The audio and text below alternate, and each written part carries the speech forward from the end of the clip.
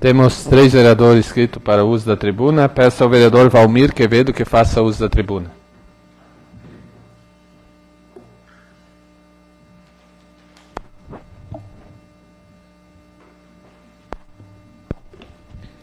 Gostaria de cumprimentar os colegas vereadores, senhor presidente, a imprensa, os visitantes, especial ao meu cunhado Hilton, né, o seu pai, Nailton, o meu sogro que deu uma saidinha, está chegando ali.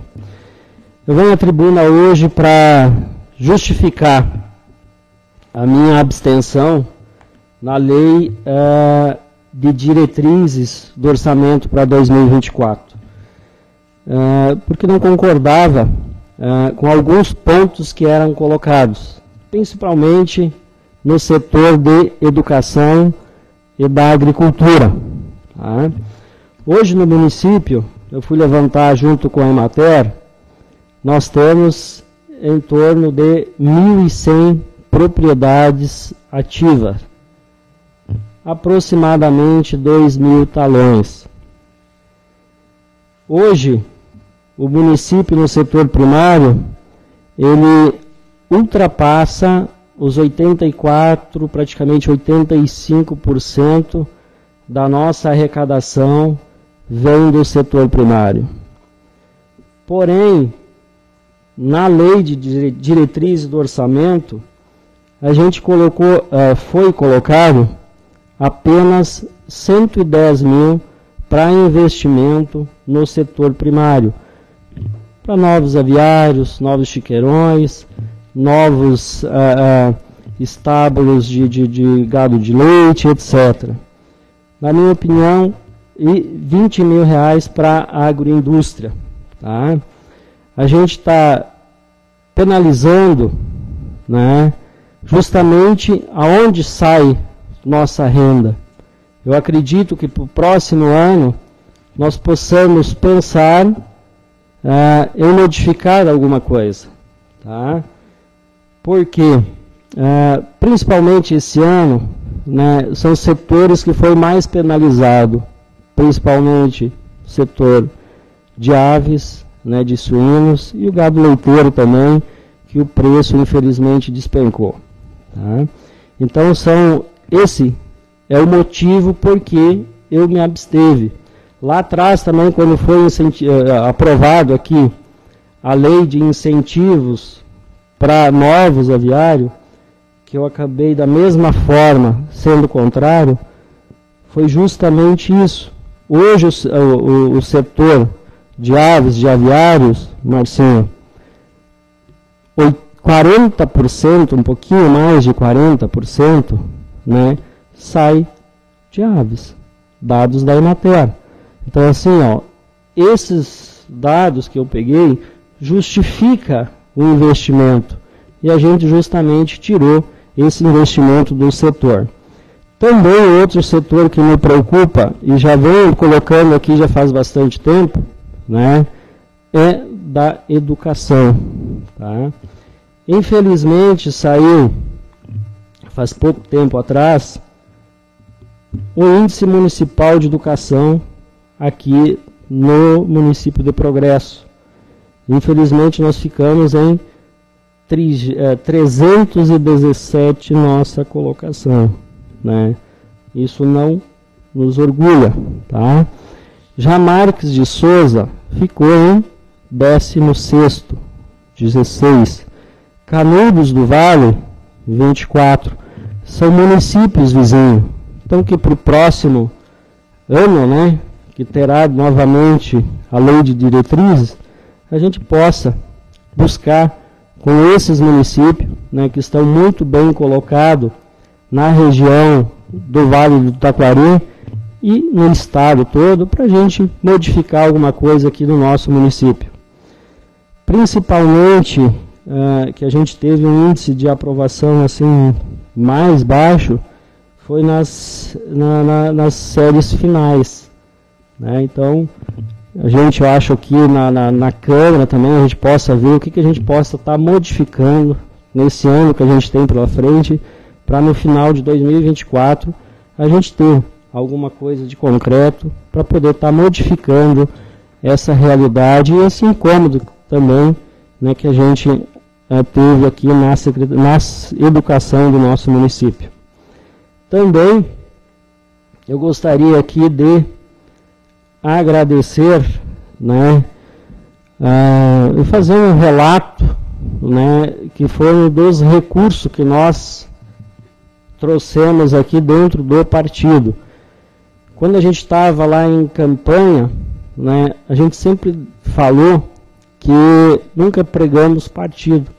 Então aqui eu venho agradecer a todos, né, independentemente de partidos, que acabou votando nos deputados que de uma maneira ou outra eram uh, ligados ao nosso partido. Que eu tive agora na sexta-feira, eu gostaria de agradecer imensamente ao vice-prefeito de Canudos do Vale, que ele me passou, deu uma grande ajuda também, que era com relação à quadra do Morro Azul. A gente vinha há muito tempo aguardando a liberação desse recurso. Ele me pediu alguns uh, documentos, eu consegui para ele. Na sexta-feira, tardinha, ele me passou, mandou um printzinho lá, mandei para o presidente de, de Morro Azul, né, confirmando a liberação desse recurso, que é muito esperado pela comunidade de Morro Azul e aqui por nós também. Já agradeço de antemão a participação da prefeitura lá, que foi assim de maneira exemplar né, e rápida, né, quanto no projeto Contrapartida. Então fica o meu agradecimento à prefeitura também, né, e o Maico pela força que nos deu. Mas, encerrando daí esse ano todos os recursos, a gente teve 250 mil do deputado Marcelo Moraes na Secretaria de Saúde, que passou aqui, foi pago há poucos dias atrás, Agora, então, para Morro Azul, 286 mil e 500 reais. Aí tem mais a contrapartida da prefeitura, né? Que a licitação foi um valor maior.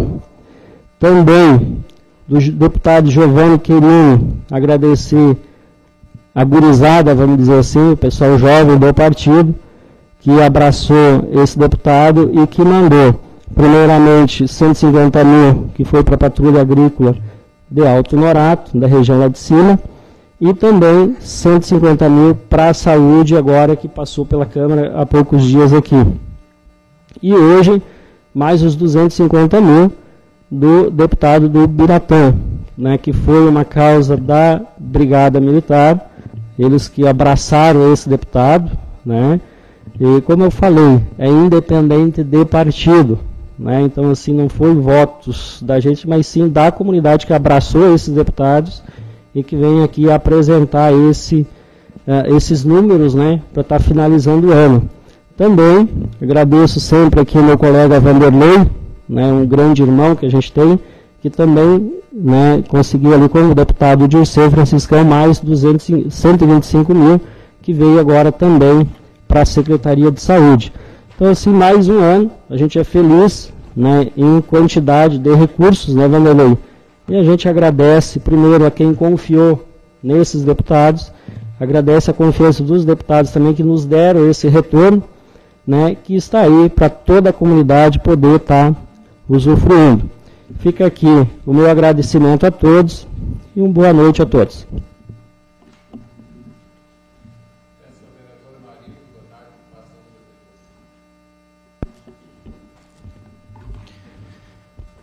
Boa noite, presidente, demais colegas vereadores, ao povo que está aqui nos assistindo, a quem nos escuta pela rádio auxiliadora, que vai ser passada amanhã, e quem nos assiste pela Progresso News, também vai nosso muito boa noite.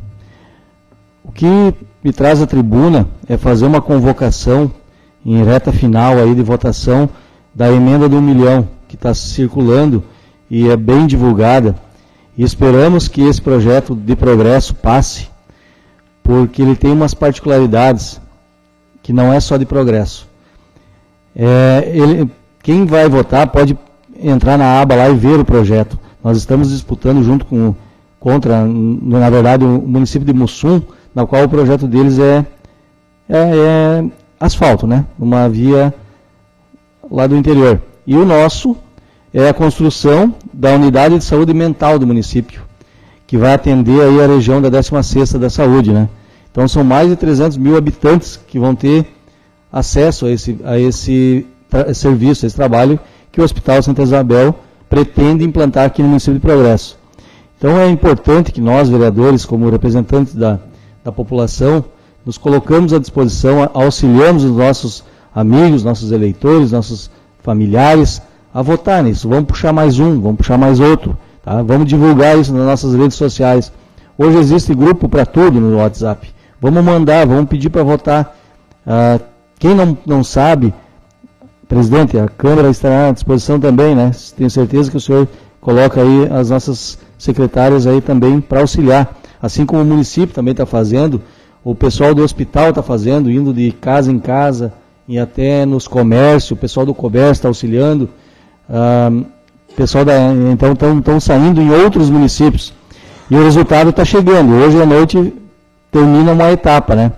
Que é esse, essa disputa com o Mussum. O sistema é mata-mata. Ganha essa, abre outra. Né? E não deixar de destacar que essa é uma emenda do deputado Maurício Marcon, do Podemos. Né? Então, como o vereador Quevedo falou antes, não existe partido aqui.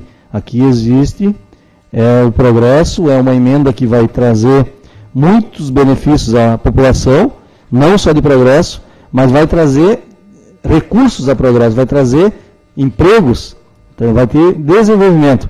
Então a gente faz esse pedido, faz a convocação, quem nos assiste, Alexandre, por, pelo canal da Progresso News, Valdir, pela Rádio Osciladora, colocam os passos lá.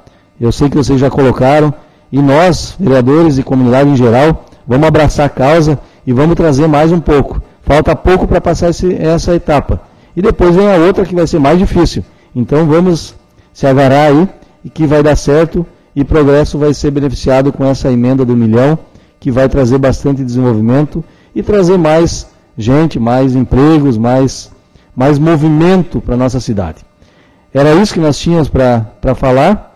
Desejamos a todos uma ótima semana e que Progresso saia vencedor então nessa emenda do milhão. Hein? Muito obrigado.